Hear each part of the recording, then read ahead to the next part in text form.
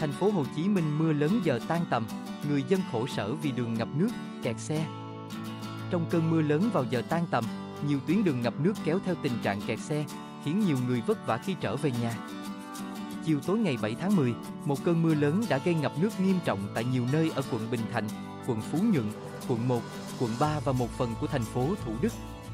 Chỉ sau 30 phút, nhiều tuyến đường ở quận Bình Thạnh đã bị ngập sâu, đặc biệt là đường Lê Văn Duyệt với đoạn ngập khoảng 200m, cùng với các đường Bạch Đằng và Đinh Bộ Lĩnh. Tình trạng ngập nước đã gây không ít khó khăn cho việc di chuyển của người dân. Tại đường Bạch Đằng bị ngập nặng, kéo dài khoảng 800m, từ hẻm 230 đến giao lộ Xô Viết Nghệ Tĩnh. Ở đây, có đoạn nước ngập lên đến hơn nửa bánh xe, khiến phương tiện đi lại khó khăn. Đồng thời nước ngập tràn lên vỉa hè, vào nhà người dân hai bên đường. Có nhà phải dùng ván gỗ để chặn dòng nước ngập. Cơn mưa lớn vào chiều tối khiến một số tuyến đường bị ngập cơn mưa vào giờ tan tầm khiến việc đi lại của nhiều người hết sức khó khăn tại đường Đinh Bộ Lĩnh, quận Bình Thạnh. Nước ngập sâu chỉ sau 15 phút mưa lớn mưa lơ nờ tại thành phố Hồ Chí Minh còn kéo dài đến khi nào? Nước ngập tràn vào nhà người dân ở đường Đinh Bộ Lĩnh tuyến đường Đinh Bộ Lĩnh cũng trong tình trạng ngập sâu. Mực nước ở đây lên tới hơn bánh xe máy. Đoạn ngập kéo dài từ giao lộ Bạch Đằng đến Điện Biên Phủ.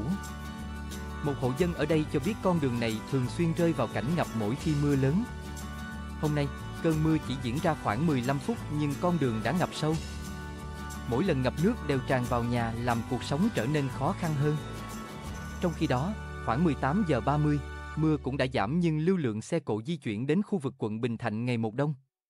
Ở đường Bạch Đằng các phương tiện đổ dồn, hướng về phía đường Xô Viết Nghệ Tĩnh. Tại các giao lộ như Bạch Đằng, Đinh Bộ Lĩnh, Xô Viết Nghệ tỉnh xảy ra tình trạng ùn ứ người dân vì sợ nước ngập nên phải ngồi lại vỉa hè không dám về nhà trong khi đó, khoảng 18 giờ 30 xe bắt đầu đông trên đường Bạch Đằng tình trạng kẹt xe cũng diễn ra tại đường Điện Biên Phủ.